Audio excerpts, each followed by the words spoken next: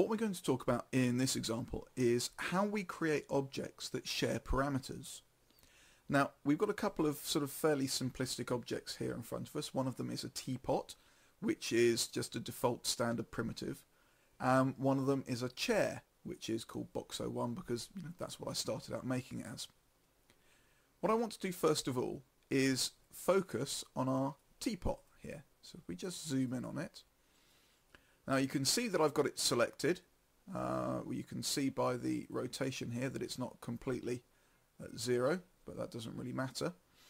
You can see by looking on the modify panel here that we've got a segments are 4 and we've got a radius of 22.8 whatever. If I just change that and make it 20 or even make it 25 just a little bit bigger you can see that I can change those parameters and I can maybe increase the number of segments as well.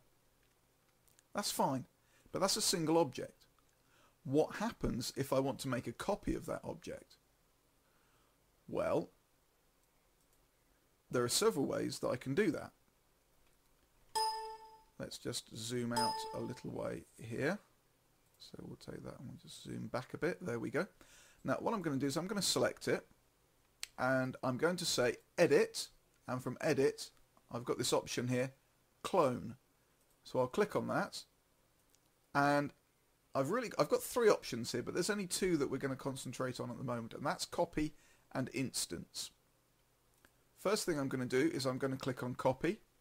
And you notice that our teapot that we've got selected up here its name is teapot 001 and down here the new name is going to be teapot 002 hence the reason why you need to name things correctly when you're working. Otherwise you end up with teapot 002 or like here box 001 instead of chair I'm just going to click OK for the moment and it doesn't appear as if anything's happened.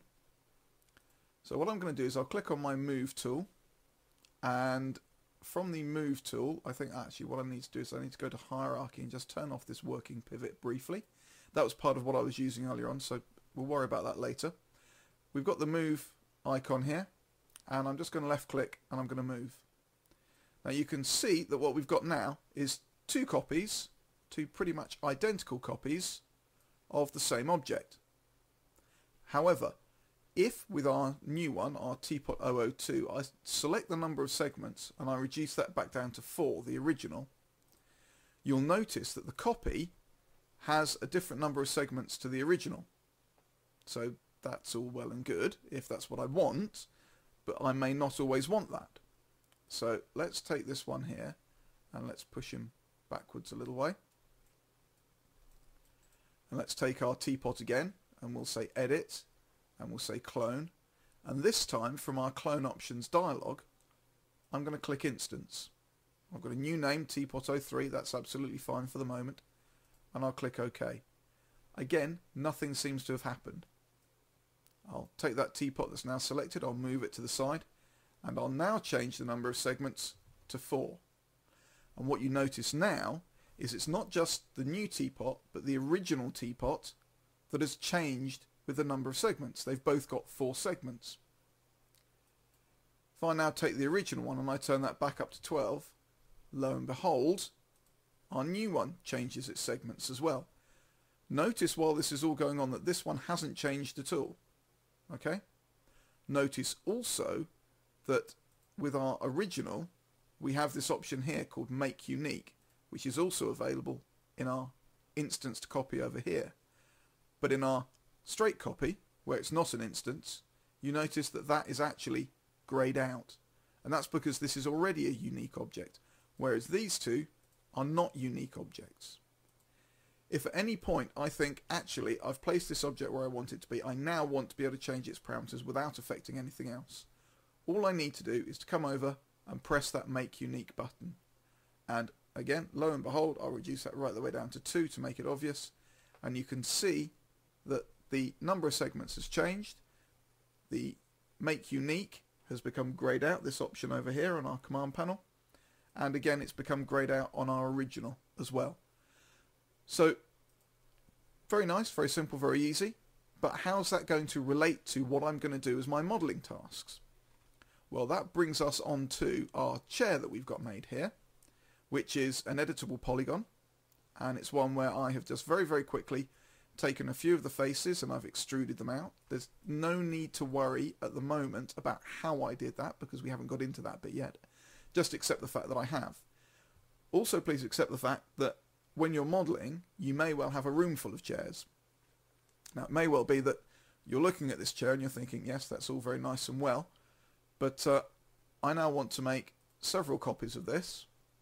So let's say I've got four of these. I'll make instances and I'll make a multiple number of copies up to four. The original offset between these two chairs will be used to the offset for every other chair and I'll click OK. Now what happens if we've got these chairs and let's just say moving around our scene I'm going to pick one or two of them up I'm going to move them around a little bit let's just say that they're all sort of going to be slightly facing each other. So maybe there's a coffee table there between them all. There we go. So they're all in a position. What happens if the designer or my lead comes up to me and he says, well, you know, these chairs look great, Stephen. Thanks very much for doing them, but we need the backs to be very, very slightly slanted if I'd already placed all of these, I, it'd make you want to cry. You'd have to go around each one individually. Unless, of course, they were instances. If I just made them copies, then yes, we would be in trouble. But this is an instance. So what I'll do is I'll select my original. Doesn't have to be the original, but that's just the one that's in a nice angle. I'll select the vertices and I'll select the ones at the back here. Again, you don't need to worry too much about it. This is really just giving you an idea of how this can work for you rather than just showing you teapots. I'll go to move, or rotate rather, and what I'm going to do is what I did before, which was to turn on my use working pivot, and if I rotate these vertices, ooh, let's make sure I've actually got vertices rotated, selected. If I actually rotate these now, can you notice all the other chair backs are now inclined backwards. So let's do that again, do it a little bit further. It's maybe a bit much. Let's just come back and make it a bit more subtle. There you go, you see? Now, as I move around and I look at each one of these chairs, let's just take off our working pivot again. There we go. You can see that each one of those chairs, irrespective of the fact that it's at a, the object is at a different angle to the original, all the chair backs have moved to exactly the correct angle that I want them to be. So bear that in mind. When you're using clones or when you're making them, you go edit uh, let's have something selected, edit, clone. You can use copy or you can use instance. Copy will make you a unique copy, instance will make you one that you can edit later on. Don't worry about them all being instances because of course from my command panel I can still, and you can see even though this is an editable polygon, we've still got that make unique option available to us. I'll just press that and it will become a unique object, so nothing to worry about. Before we go however, let's just look at one other way that we can create copies that's a lot quicker than going up to the edit clone. If I select my object, and I could have move, rotate or scale, but we'll go with the move tool. I'll have move selected. I'm going to press and hold the shift key, and then I'm going to drag a new object out from the original. When I let go, my clone option dialog becomes available to me. I'll have it set to instance again, and this time I'll make five copies. So when I press OK, you can see I've got five new copies made and they're all the same as the original and they were made just by shifting and dragging.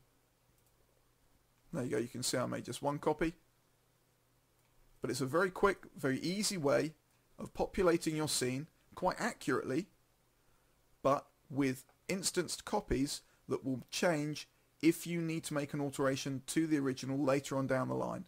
Again, as I say, if you want that to be an original, you just press the unique and it becomes a unique object. Nice and simple.